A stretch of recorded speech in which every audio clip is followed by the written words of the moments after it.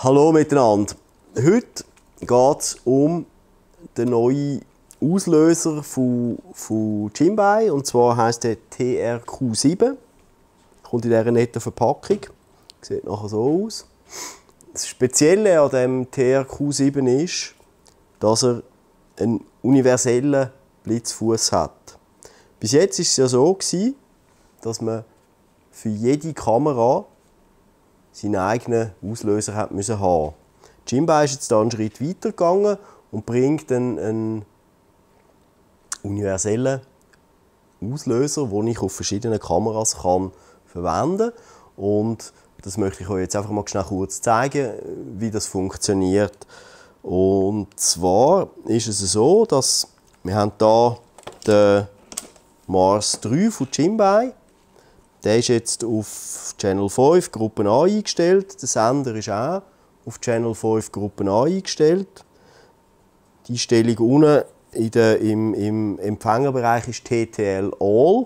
Sprich, er tut alle äh, vor allem irgendwie auslösen. Ich stecke den da drauf. Auf die, das ist eine alte äh, D3X. Und Vorher hat sie ein paar Mal nicht ausgelöst, weil sie nicht fokussiert hat irgendwie. Aber ihr seht, der Blitz löst jedes Mal aus.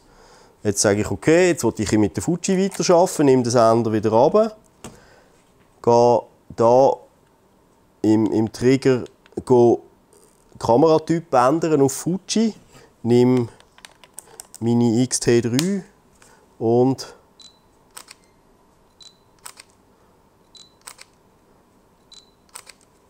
Schon habe ich quasi kameraübergreifend meine Blitz gesteuert.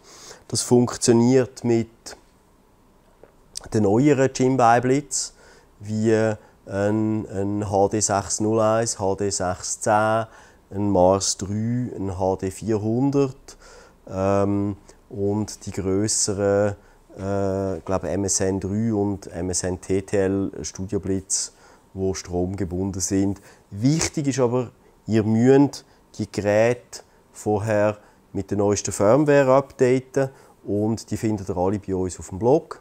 Dort hat es eine spezielle Sektion, Downloads und dort ist extra für den TRQ7 gibt's einen, einen, einen Blogbeitrag, wo alle aktuellen Firmwares drauf sind und das werden wir auch aktuell halten. Also wenn etwas Neues rauskommt, werden wir das dort auch aufschalten dass das verfügbar ist.